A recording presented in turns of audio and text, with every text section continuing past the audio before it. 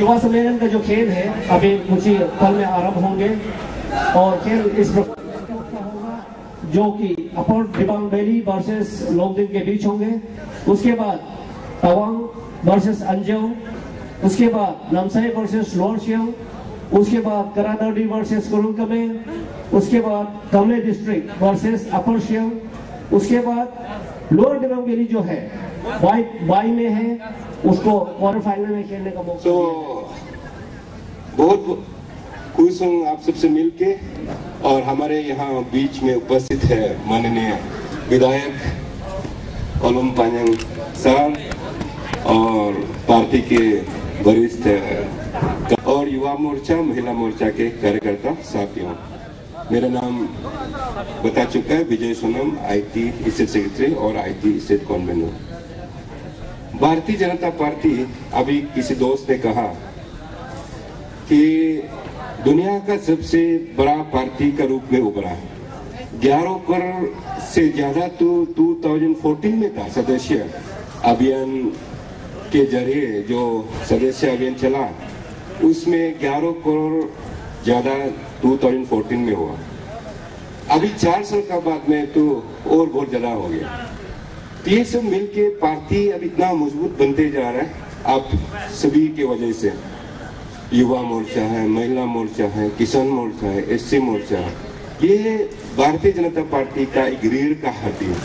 You are the backbone of the party Bharatiya Janata Party मेरे ख्याल से तभी करा रहेगा और तभी मज़बूत होगा जो युवा मोर्चा, महिला मोर्चा सभी सब आप लोग जब ठीक से करा रहेगा मजबूती के रूप से पार्टी के कार्यकर्ता को काम जो कार्यकर्ता रूप में काम करेगा और पार्टी का जो पॉलिसी से प्रोग्राम से, कार्यक्रम है, उसको जन जन तक पहुंचेगा तभी पार्टी आगे बढ़ेगा और मौजूद रहेगा।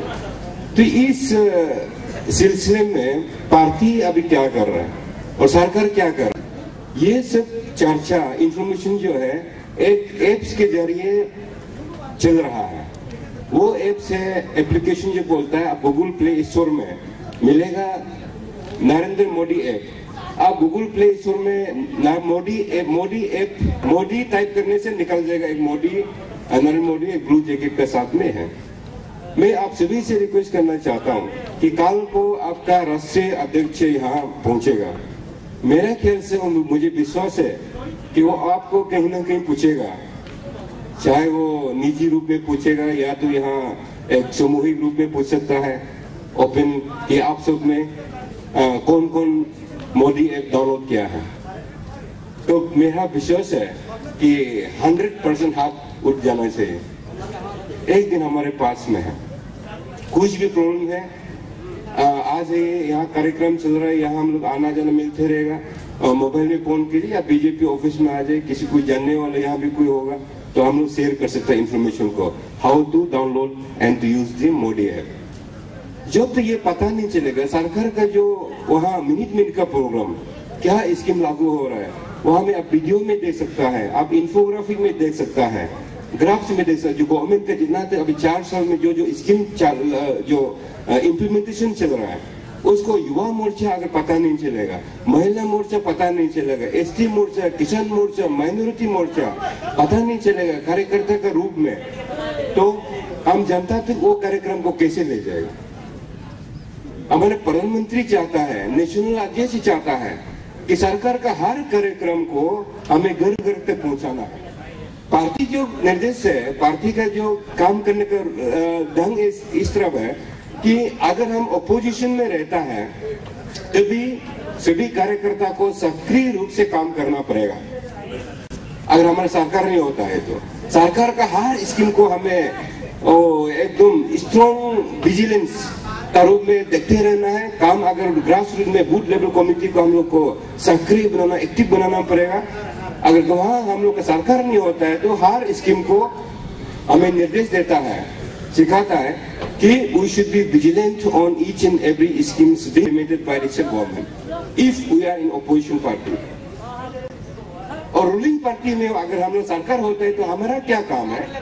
हमारा काम बनता है कि हमारा विधायक एमएलए क्या काम कर रहा है? सरकार का पॉलिसी प्रोग्राम क्या है? इसे गवर्नमेंट का। और गवर्नमेंट का दिल्ली से क्या सेंट्रल फ्लेक्सिव प्रोग्राम जो बोलता है, वो क्या क्या चल रहा है? उसको हमें जानकारी रखना है और उसको हम लोग को इम्प्लीमेंटेशन कराना है। सही ढंग से। वहाँ देखना है कुछ तकलीफ़ है। बैंक अकाउंट खोलना। पीएम पीएम जनधन अकाउंट जो जो 14 में चालू हुआ। हर गाँव वालों को हमें मदद करना है कि अकाउंट खोलने में। ये बूथ लेवल कमेटी जो होता है, वो ग्रास रूट में इसमें बनाना पड़ेगा। अभी जो आयुष्मान भारत आज लागू होगा, और चीफ मिनिस्टर का कुछ हेल्थ इंश्योरेंस स्कीम है, वो तो अरुणाचल प्रदेश का तो लागू हो चुका है। उसको कैसे अवेल करेगा? हमें गाँव गाँव में जाकर युवा मोर्चा को आ, जो बताना पड़ेगा महिला मोर्चा को बताना पड़ेगा। तभी जो है मनदाता वाला मतदाता बनेगा। The will will become और वोटर्स और सपोर्टर्स तभी हमारा सरकार फिर बनेगा। अच्छा दिन तभी आएगा।